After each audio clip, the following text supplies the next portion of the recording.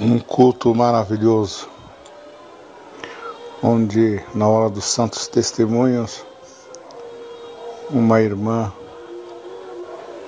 com uma criança pequena no colo, bem na frente, balançava aquela criança e a outra irmã testemunhava. E no santo testemunho ela dizia que às três horas da manhã. Deus, na sua infinita bondade e misericórdia, envia um anjo para a terra. Quando chega esse anjo na casa do provado, se tiver fé, ele faz a obra. Se não tiver fé, ele deixa a fé e vai para outra casa. A menina guardou aquilo e os tempos se passaram. E um determinado dia sua mãe foi acometida de uma enfermidade grave. Fase terminal. Internada dentro de um hospital, onde na ala dela só tinha pessoas com os mesmos problemas que ela. Determinado dia, o seu papai foi visitá-la, a sua mamãe. E quando chegou na ala em que ele estava internado, o médico que tomava conta daquela ala viu nosso irmão entrando. Fez menção com ele com a mão para que ele andasse um pouco mais depressa. E ele já veio pensando: Oh Deus, todo dia sai um funeral daqui. Será que tu levou a minha esposa? Naquela preocupação, ele se aproximou daquele médico e o médico disse para ele: Você é diferente, a tua esposa é diferente, o povo que vem visitar ela é diferente. Nós aqui ministramos um medicamento à base de droga muito forte, porque a dor na fase terminal é forte. Mas a tua esposa, ela não toma esse medicamento ela diz que quando Deus dela vier buscá-la, ela quer estar sã. Mas quando a dor aperta, ela tem atrás do travesseiro um pano de renda todo dobradinho. E ela põe esse pano na cabeça, começa a ler a Bíblia uma lágrima começa a descer do seu rosto, uma linguagem toma a sua boca e nós não entendemos até agora que linguagem que é essa. O importante é que quando a linguagem para, todas aqui começam a dormir. Ela dobra novamente aquele pano, coloca atrás do travesseiro e volta a dormir. Então nós tomamos a liberdade de dar alta para ela. Ela está de alta, você vai levar ela para casa, ela vai ter muito mais liberdade no meio dos seus, liberdade para visitar. Vai ser muito mais útil ela lá na nossa casa do que aqui. E quando ela falecer, traga-nos a notícia e nós faremos o atestado de óbito. Vocês já imaginaram quantas palavras proferidas pelo Espírito da vida saíram de uma tribuna, de uma oração, onde que se não dizia que era para a morte, era para honra e glória, estava caindo no chão. Mas ali aquele, aquele homem foi até a sua esposa e Disse para ela o que o médico havia falado. Ela entendeu, andando bem devagarinho, naquele corredor do hospital. Quando chegou perto do seu carro, ele disse: Sou teu esposo, sou teu amigo, sou teu companheiro, sou teu irmão na fé. Tudo que você pedir para mim, eu vou fazer. E assim foi. Ela foi para casa, foi piorando, piorando. A menina lembrou que às três da manhã, Deus manda um anjo para a terra Chamou a tia e pediu para a tia colocar o relógio para despertar às três da manhã. A tia perguntou por que às três da manhã. Então ela disse: Porque às três da manhã o Papai do céu manda um anjo para a terra. E quando esse anjo chegar na terra, eu quero ter uma conversa com ele. E assim foi.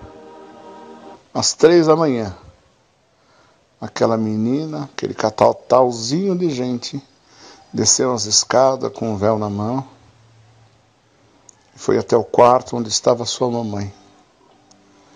E quando chegou no quarto, a porta estava entreaberta e a menina foi entrando. A sua mamãe disse: Por que, que você está acordada essa hora, filha?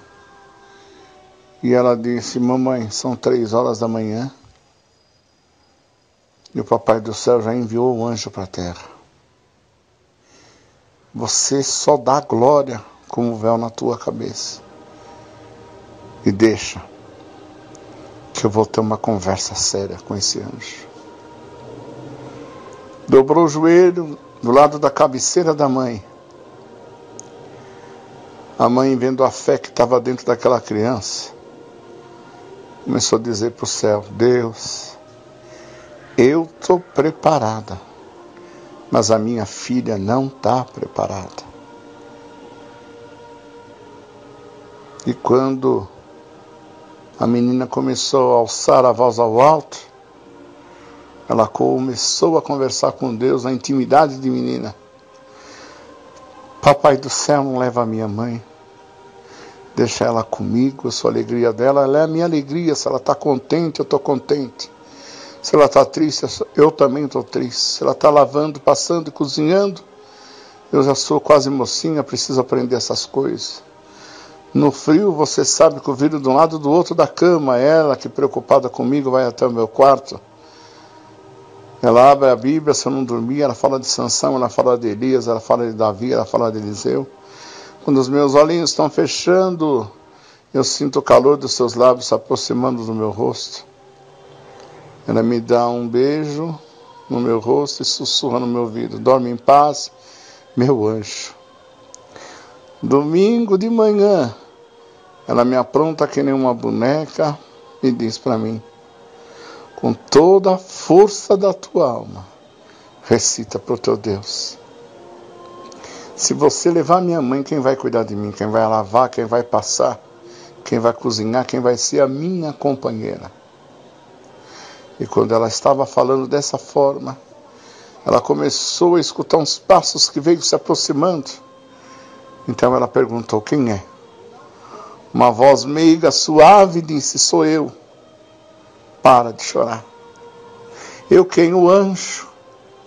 Tá todo mundo chorando lá em cima, papai do céu, anjo, arcanjo, querubim, os 24 anciães. E quando deu três da manhã, Deus me chamou, apontou a terra e falou: Tá vendo daquela casa? Tá vendo aquela menina? Liberta logo aquela mãe que eu não estou aguentando o choro daquela menina. Naquela virtude, naquele poder, a mãe começou a chorar.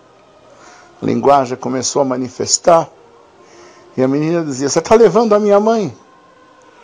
Ela dizia: Não, não, estou deixando a sua mãe com saúde. Estou dando saúde para ela. E quando o anjo fez menção de sair, ela disse: Posso te pedir só mais um favor? Ele disse: Pode. O que, que você quer? Ela apontou um órgão, tá vendo aquele órgão? Você me ensina a tocar órgão? Ele disse: Então tá. Encosta no órgão. Liga o órgão. Abre o inário. Começou a abrir o inário. E de repente ela disse: Que hino é esse? E ele disse: Esse quando é cantado na terra quando é cantado no céu, é dia do Papai do céu fazer obra na terra. Ela, mas que hino que é esse? Encosta os seus dedinhos no teclado, eu canto ele para você quando estiver cantando. Vai cair um metro do bono, dom da música, e você vai estar tá tocando. Ele começou a cantar para ela: Santo, Santo, Santo, Deus onipotente.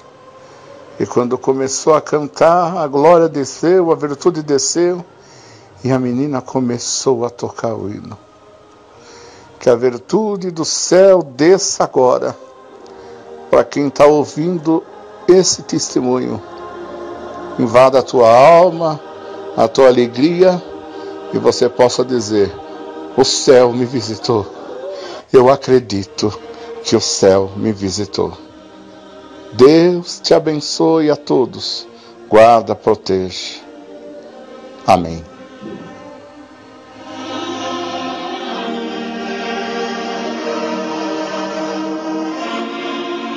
Que a virtude desse hino te toma aí, te envolva e acredita. Às três da manhã, o céu muda de cor, os cachorros param de latir, a virtude invade a terra. Quem está orando com fé, o milagre acontece. Acredita, irmão, acredita, irmã. Deus, na sua infinita bondade, na sua infinita misericórdia, entrará na sua causa difícil e resolverá todo, todo, todo o seu problema.